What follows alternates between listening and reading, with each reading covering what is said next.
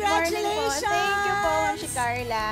Good morning po sa lahat po ng nanonood ngayon ng Magandang Buhay! Grabe! Nandito na ang ating grand winner! Uy, dalawa! Ano? Dalawang, dalawang grand, grand winner! winner. No, galing your face po dito. Yes! Alam mo, nakaka-proud kami ni Ma'am si Joel. Sobrang proud kami Yes. kasi may kasama din kaming grand, ah, grand winner. Grand beef! Ako nagigigil ako siya. May kasama din kaming grand Grand- winner from Your, Your Face. Face. Diba? Nako. At ito yan si Mom Shimels. oh! Akalain mo, oh? Oo, butter lang. Congratulations, Clang! Congratulations. Shijo. Pero ito ha, syempre alam naman natin mga mamshi na sa Your Face Sounds Familiar, ay lagi namin sinasabi, ka-face na, ka-sound pa. Pero ito lang, syempre may isang tao dito na sinasabi talaga na nung nagsa-start ka dito sa ating industriya, ay ka-face mo daw. Is it true? Sure, sure, sure ka Oh ba my God, dyan? sino ba yan? natin, oo. Sino ba? Sino? Patingin, kung mag-a-agree si Cla- Ay! Uy, maawa naman kayo. Kay Clarice, kawawa naman Agree ka ba dito, Clang? Oo nga, no, Ma'am Shijo. Ay, Ma'am Shijo, Ma'am Shimelay. Alam nyo, china, alam nyo, chinarchar nyo si Charis, si Charis, si Clarice. Bakit? Tingnan nyo, sinabay yung mukha ko talaga pinakamaganda. Ay, ayan! Ayan! Aba, akala ko si, si Lina. Gomez.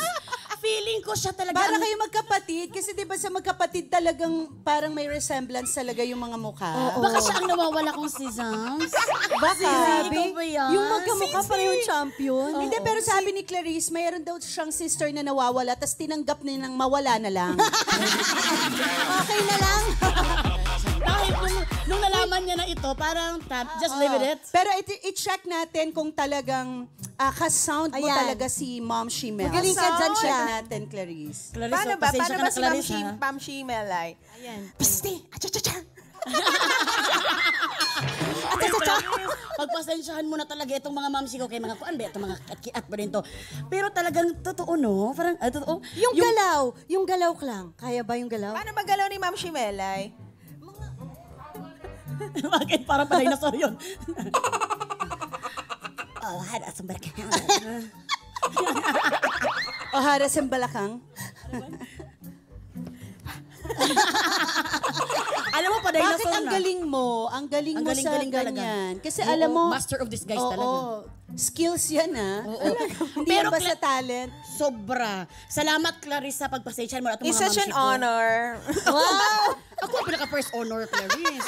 hindi gan hindi honor sa school. Ah, sige, sige. Pero anong feeling, Clarice, na finally talaga natupad mo na yung pangarap mo na makakuha ng trophy sa isang kompetisyon, na magkaroon ka ng title na champion? Siyempre, sobrang thankful ako and sobrang saya kasi madami na ring times na andun, andun na yung almost, naging na lang runner-up. But this time, um, kung saan pa hindi ko ina-expect, dun pa ako magiging grand winner. So, very thankful ako sa Your Face Sounds Familiar. And of course, sa ABS-CBN.